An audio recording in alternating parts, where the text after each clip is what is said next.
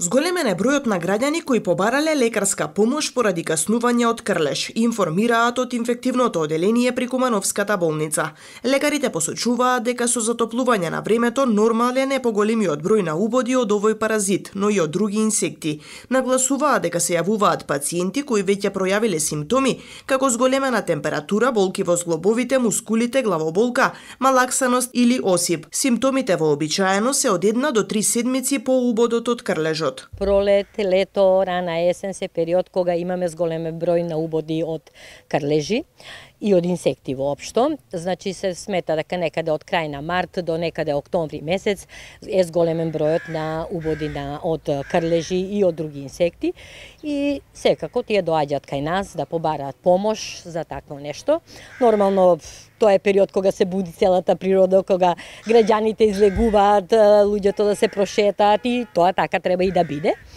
Меѓутоа, сепак треба да внимаваат на тој дел. Крлежот може да пренесе инфективна болест и најчесто болести кои ги сретнуваме после убот од крлеж, ако крлежот е заразен, тоа се лајмска болест, еритема мигранс, понатаму се рикициозите, може менингит, менингоенцефалит да се јави и некои други.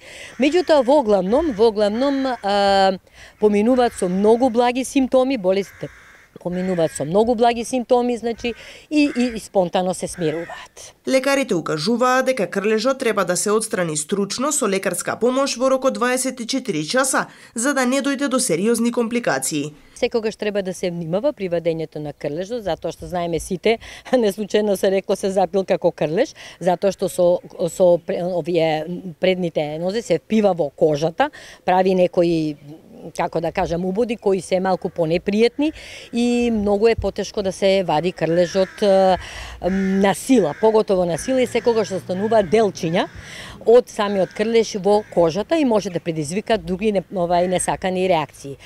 Ако крлежот сам не испадне, значи не се извади безбедно, Тогаш пациент, таквите пациенти завршуваат на хирургија, каде што со еден мал рез се вади самиот крлеж, значи или она што останало од крлежот како такво, делови од неговото тело. Препораката е граѓаните доколку престојуваат во природа да практикуваат лесна облека со долги ракави и ногавици, а по враќањето дома да го прегледаат телото.